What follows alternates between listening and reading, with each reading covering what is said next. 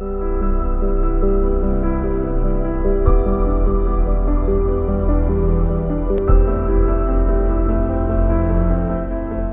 everyone, I hope you are all doing well. Today we are going to learn about time to climb activity.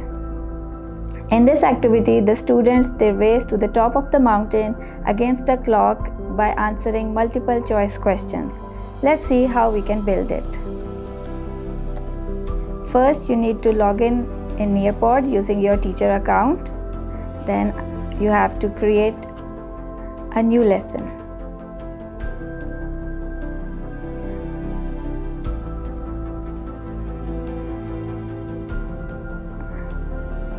it might take a few seconds okay once you have opened the new lesson you have to add a new slide and from here you have to select activities and then time to climb.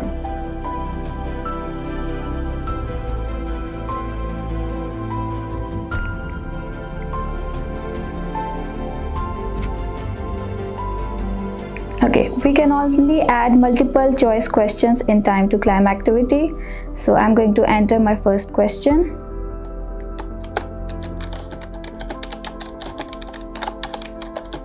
what is the capital of pakistan? And over here i'm going to add the answer options. You can add up to four options for each question.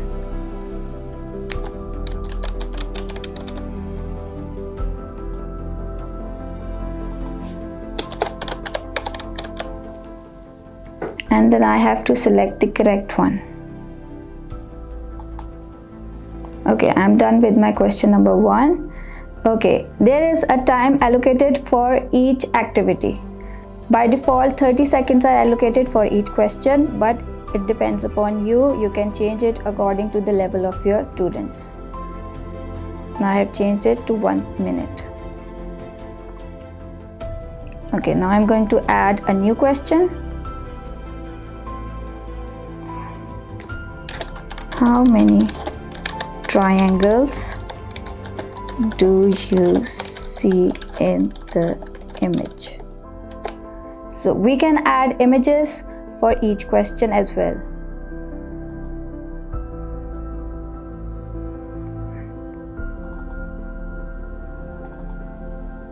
Here is my image and the students are going to look at it and give the answer.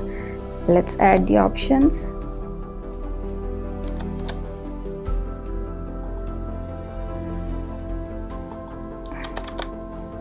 and choose the correct answer.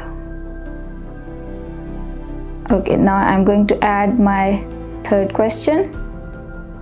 Okay, as we have added the image for the question, we can also add the images for the answers. So let's write the question first, which is not a source of light.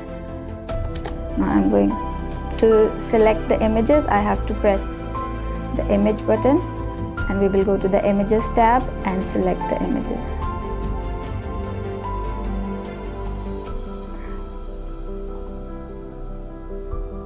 We will upload the image. We can use the images uh, from our local drive or we can search the google also at the same time for adding the images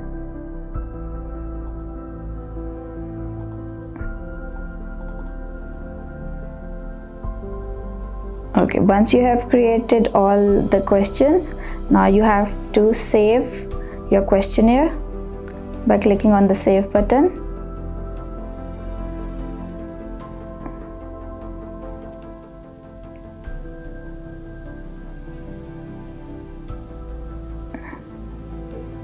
Here we are done with our time to climb activity and we will save and exit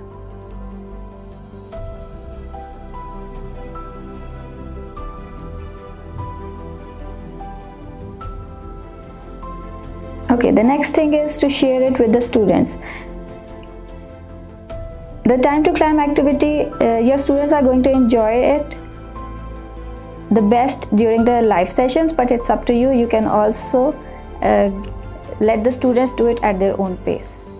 So for sharing in a live session we are going to generate the code for the activity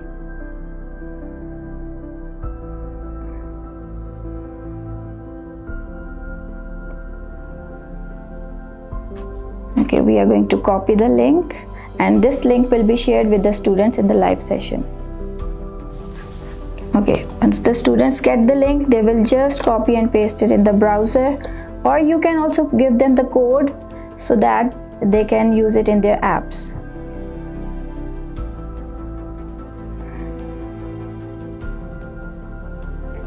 Okay now we are looking at the students view how they are going to look at this activity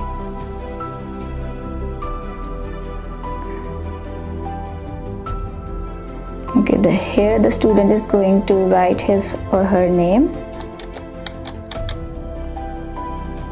and join the lesson.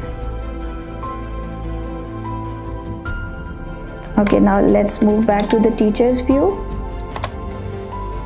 Okay i'm going to cross it out. Okay teacher has options to add a theme to their activity. There is a mountain theme space theme and underwater theme. So let's go with the un underwater theme and continue.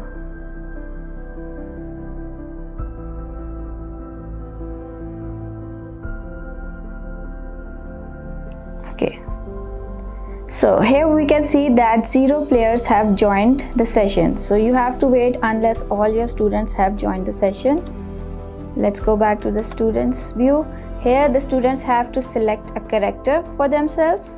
There are multiple options which makes it very interesting for the students so they will select their character and press the start button. They will not join the session unless they press the start button.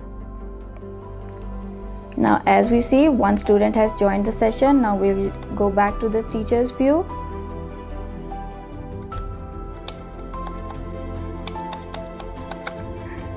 And we can see that one player is waiting for us. Now when all the students have joined the session you can press the start button so that they can all start playing at the same time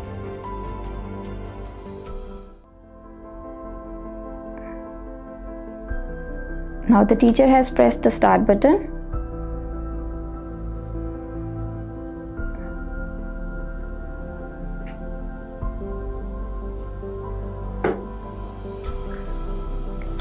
And she can view the scores of all the students over here. And here the students can view the questions. Now it is a time-based game. Like the quicker the student is going to answer a question the more points he or she is going to gain. So let's start answering the questions. As you can see as the student has answered the question he or she is climbing up the mountain. Okay here's the question number two okay let's see what happens if we give a wrong answer. The student is given feedback at the same time. So he or she knows on the spot if he answered it correctly or not. And here's the last one.